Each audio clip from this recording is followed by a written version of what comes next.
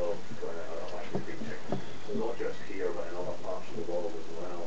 But we need to understand that mechanism perhaps to help them. Again, you've got um, to look at it and try and analyse what's going on. And where you've got the emotion of having all these animals alive in front of you on a where they shouldn't be, it's difficult to be clinical in that situation. Your emotions can come to the surface. I put on Mr. Stony Face uh, for a while, but uh, if I turn away and nobody's looking at me, you know, believe you me, fill up because you're having beautiful sentient animals on the beach suffering in front of you. And sometimes veterinary surgeons can do something about it. They can euthanize the animal, but sometimes they can't.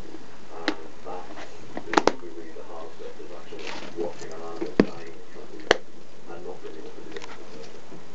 What would you say to those who would argue, look, uh, they're clearly something wrong, if they've trained themselves, uh, let, let take its course, let them die. Um, is that, yeah. Um, there is that, and that's been a fairly traditional point of view from the local people for quite a long time. But then there is a growing band of people who are a little bit more proactive than that.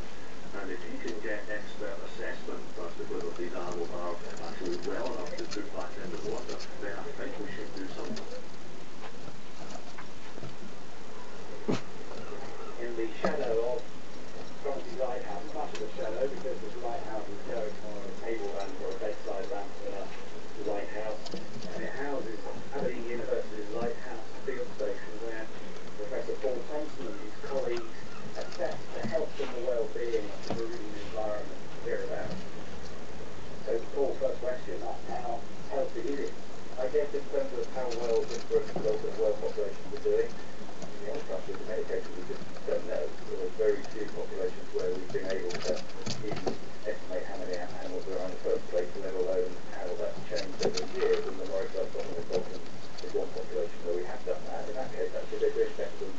we thought they were a few years ago. But uh, you know, appreciate, uh, like Pilot Whales and some of the other dolphins that spend more of their time offshore. We've got some, some snapshot estimates for the North Sea, One big.